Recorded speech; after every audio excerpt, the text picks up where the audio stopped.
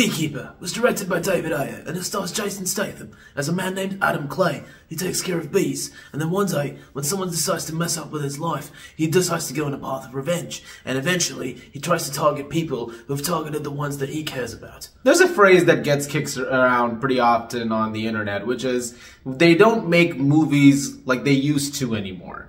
It's something where people watch new stuff and they go, they would have made it like this in the 90s. They would have used this camera or this color scheme or where did the personality go? Where did some of that vibe go? That's actually where The Beekeeper comes in because this is a movie that feels like it would have been one of the biggest box office successes of 1996.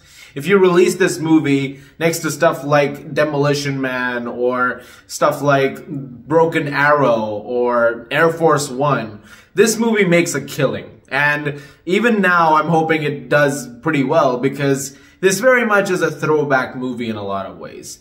David Ayer, who has a track record people have gone all over the place with when it comes to the highest of highs with stuff like Training Day or with Fury, and then you eventually get stuff like Suicide Squad, which not a lot of people enjoyed. I would say that this is one of his best movies in a long time.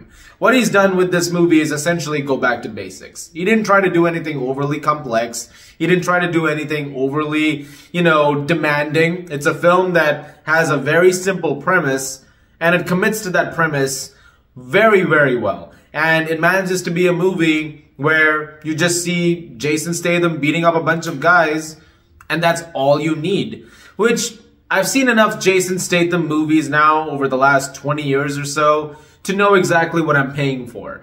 I'm not exactly walking into a movie with him expecting anything more than a punch him up for about an hour, 40 minutes or two hours and just having a good time with that. The same thing happens with the Fast and Furious movies he's in as well. The same thing happens with movies like The Meg or Meg 2 or whatever it is that you want to throw. Or when you go back to the early days of the Transporter movies, like you know exactly what you're getting.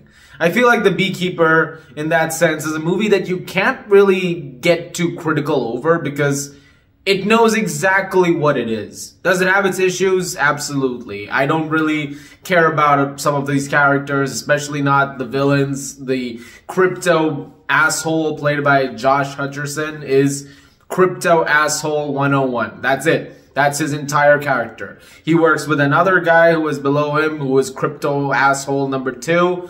Crypto asshole number two is crypto asshole number two. I'm gonna stop saying asshole now for the rest of this video. But that's essentially what I'm getting at over here. What you get with these characters is it. There are things that get very insane and over the top, especially this one big thing in the third act, which is like, okay, I guess we're doing this now. But at the same time, what did you pay to watch?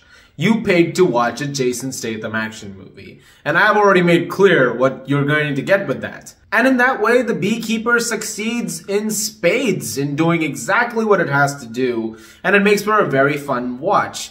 Like I said, it's not a perfect movie, but I went to see brutal action and you get it. It's very well filmed. Ayer does a really, really good job of bringing some of those scenes to life. Very colorful and vibrant at times, and some of the action is just genuinely pretty insane. There are things that Statham is doing in this movie that are very brutal, and the people who are, you know, being brutalized, my sincerest condolences. I, he has a massive body count in this movie. At this point of time, I feel like there is an entire book you can make of just the number of people he's killed in movies.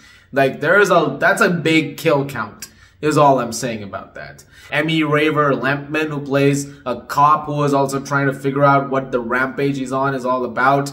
She's really, really good over here too. Uh, everybody honestly is having a great time. It's just some of the characterization, I, I mean, you don't really get much. But then again, going back to the statement before, what did you pay to watch? And this is not a condescending thing. I'm not trying to sound like, you know, a jerk by saying that, like, hey, this movie's trying to not be super intelligent. I'm trying to simply state that sometimes simplicity is best. I think if you try to do something which is breaking what you're supposed to be all about, that can make things suffer immensely. I think with a movie like The Beekeeper, understanding what you are and committing to that makes it work as well as it does. And so I recommend just seeing the movie for a good time this weekend. Just have some fun watching Jason Statham really beat up some guys, make some bee puns throughout the entire movie, or other characters make bee puns. They're very over the top uses of the F word or something like that. Just have a nice time. That's all you need. And after you're done, go watch it again if you want to. That's it. Try not to think about it too much. I'm gonna give The Beekeeper a 7.5 out of 10 a fun start to 2024. I'm not gonna lie. I actually had a very good time watching this movie. Like, you just have to have fun. Nothing wrong with a little bit of that, especially not in this world. Guys, thank you very much for watching. Look forward to more videos very, very soon. I'm also going to be watching the new Mean Girls movie, which is going to be tomorrow. Looking forward to talking about that. As always, if you like this, please do subscribe. And I will see you guys in the movies.